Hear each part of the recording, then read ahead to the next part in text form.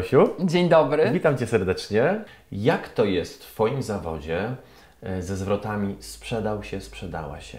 Na jakich rzeczach można występować, na jakich nie? To jest ciężki temat. Gdybym miała taką możliwość, że nie schodzę ze sceny operowej, to tę możliwość bym wykorzystywała. Są różne sytuacje, na przykład zdrowotne. Ja, jak wiesz, miałam bardzo poważny wypadek, który wykluczył mnie ze sceny prawie na dwa lata, ze sceny operowej. Wtedy zaczęłam robić y, y, intensywniej różne inne rzeczy. Oczywiście eksperymentuję. Żyjemy w takich czasach, że wszyscy są uwikłani w jakieś kredyty, w długi i ta możliwość wyboru w pewnym momencie musi być zdeterminowana tym, czy mnie stać na to, żeby odmówić. W jakim najdziwniejszym miejscu, miejscu śpiewałaś? Ja wiem, że Tak, śpiewałaś. wiem. W, w koledze w czerwonej Toalecie. toalecie, y, 100 lat, tak.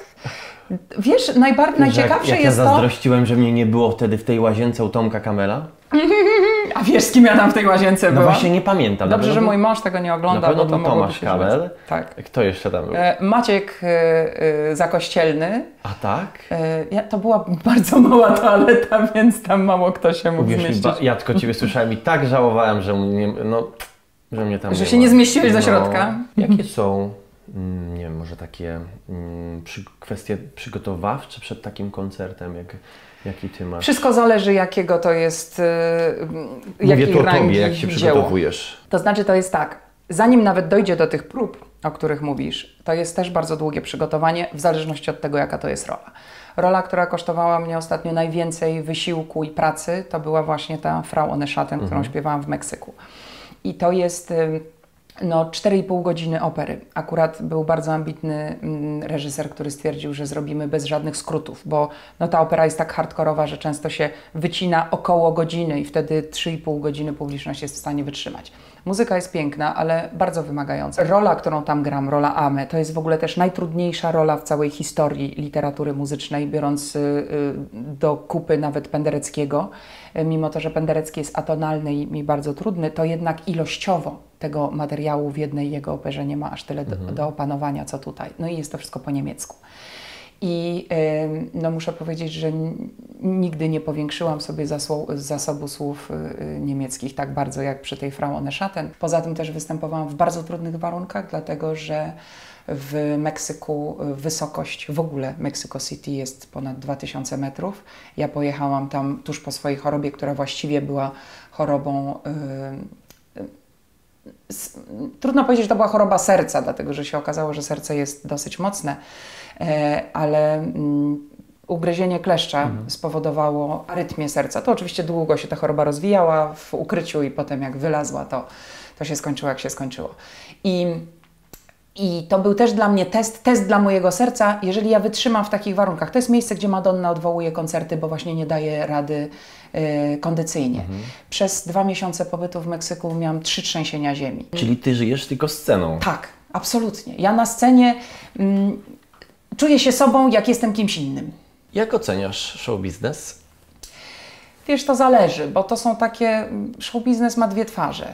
E, Jedną ma tą gorszą i ona jest bardziej na wierzchu. To jest właśnie kwestia takiego lansowania się po tych imprezach i e, ja oczywiście czasami bywam na takich imprezach. Była taka sytuacja, że mnie bardzo długo nie było i ciekawa byłam po prostu, co się dzieje, ale dosyć szybko e, doszłam do wniosku, że to jest strata czasu i w ogóle nie ma po co tam chodzić. I teraz bardzo wybiórczo to traktuję i chodzę tylko w te miejsca, które mnie naprawdę interesują i które w jakiś sposób mogą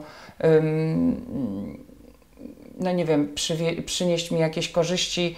Nie mówię tutaj też o korzyściach y, ym, PR-owych, ale o korzyściach intelektualnych, no, gdzie mogę się spotkać z jakimiś ludźmi ciekawymi, którzy, od których mogę się czegoś dowiedzieć, a nie spotykać się tylko z takimi, co by chcieli się ode mnie dowiedzieć, bo to już jest dla mnie mało pociągające. A jak mielibyśmy tak obnażyć trochę show biznesu?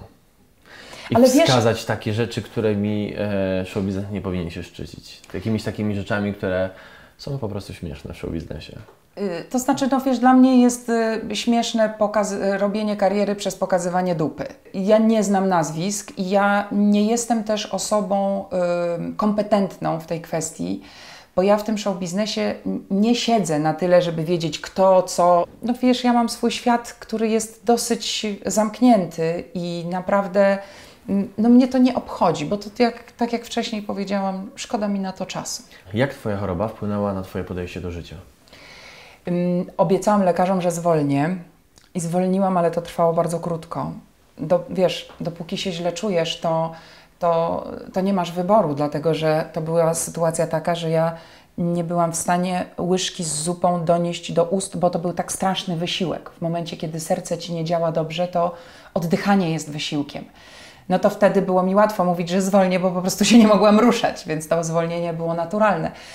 Ale no, trzy miesiące po pierwszej operacji już byłam w Madrycie i śpiewałam y, Ulrykę w balu maskowym. Y, potem jakby, mm, ale to jeszcze nie, nie miałam właściwej diagnozy, więc szybko choroba znowu wróciła. No i tak naprawdę wyhamował mnie wypadek w Krakowie, który mnie wyhamował skutecznie, bo po prostu tam umarłam na scenie. To są też bardzo dramatyczne mm, przeżycia, które też opisałam w felietonie, ale jeszcze nikt nie był, że tak powiem, godzien, żeby ten felieton y, umieścić, bo to jest takie bardzo osobiste i, i jakby dla całej mojej rodziny to jest wielkie przeżycie. Z którego e, kraju chciałabyś przenieść coś, coś do Polski? Ciepło z Włoch. No to było za tydzień. Ale co jest śmieszne, bardzo dużo śpiewam różnych arii i pieśni o tęsknocie za krajem. I y, ostatnio właśnie analizowałam y, teksty tych pieśni. To głównie jest to tęsknota za krajem włoskim. Y, I na przykład ten Znasz li ten kraj, gdzie cytryna dojrzewa.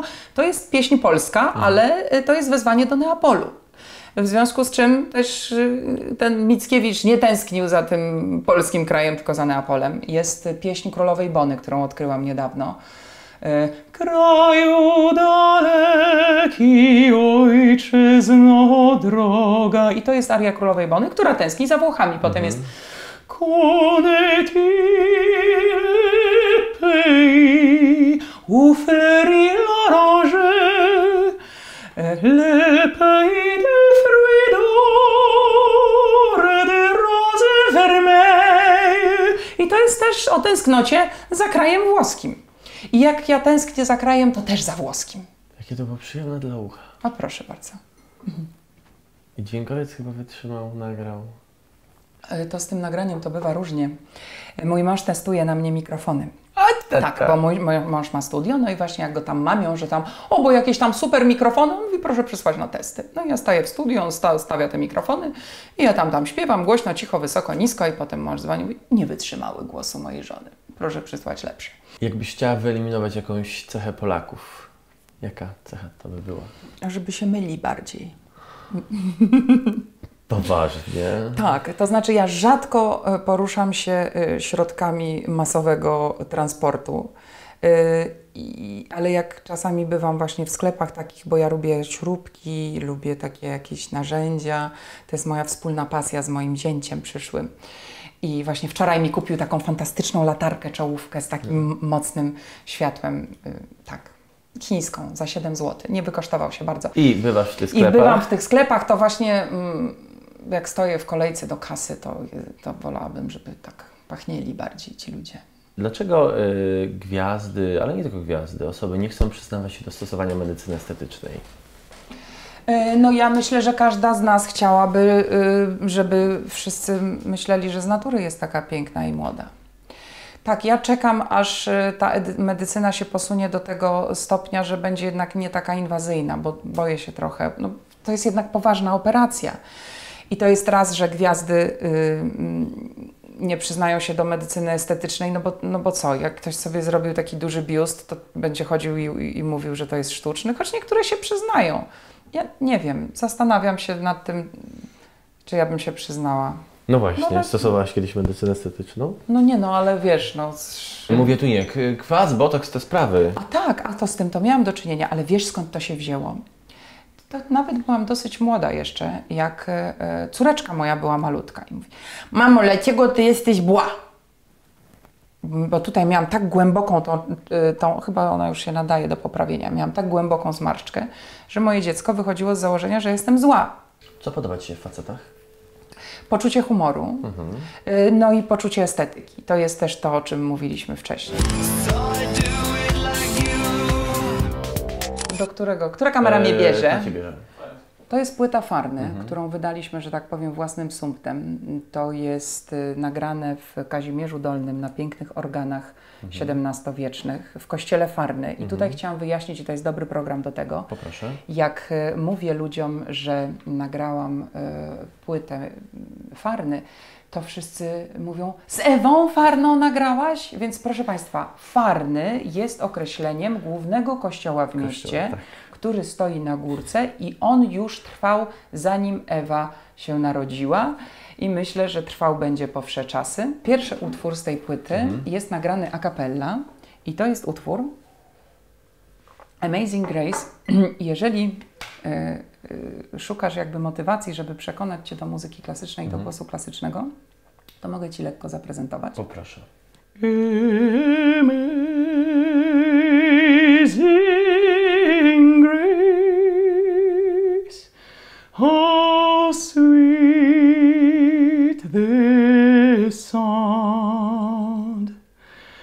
That's it.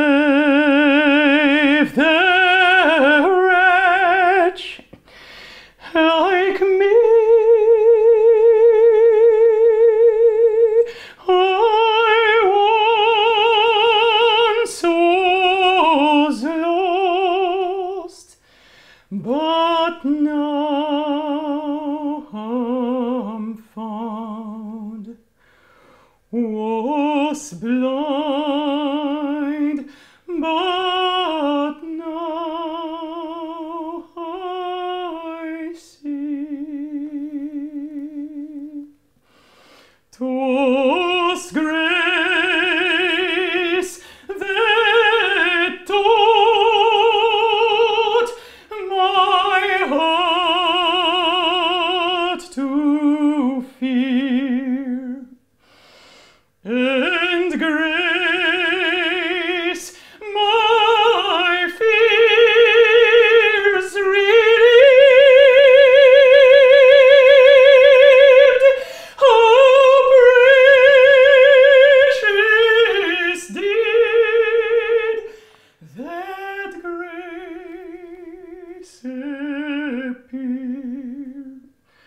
This.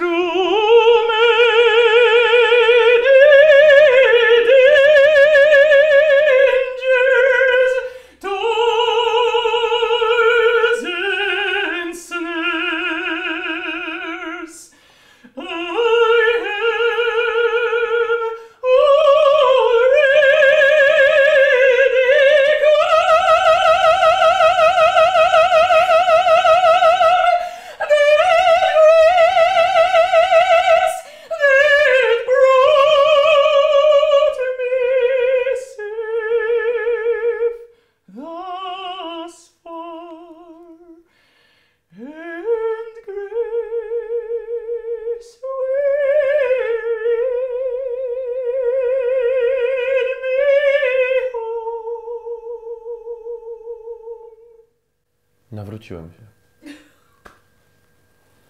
To robiło niesamowite wrażenie. Bardzo Ci dziękuję, Małgosiu. No to możesz że już nie żałować, że nie było Cię w tej toalecie, bo by Ci uszy pękły. Nie, właśnie żałuję jeszcze bardziej, bo to, to było masz tutaj genialne. toaletę, możemy wejść. To było genialne. A to tam jeszcze, to, tam to już by rozsadziło. Tak. Jedę do sąsiadów. Oni mi na pewno zazdroszczą, ja pozbieram zaraz pieniążki za bilet. w takim razie na To odpal mi działkę w takim razie. Małgosiu, bardzo Ci dziękuję. Wszystkiego Bardzo najlepszego. Zdrowia Ci życzę i Tak. udanych koncertów. Dziękuję.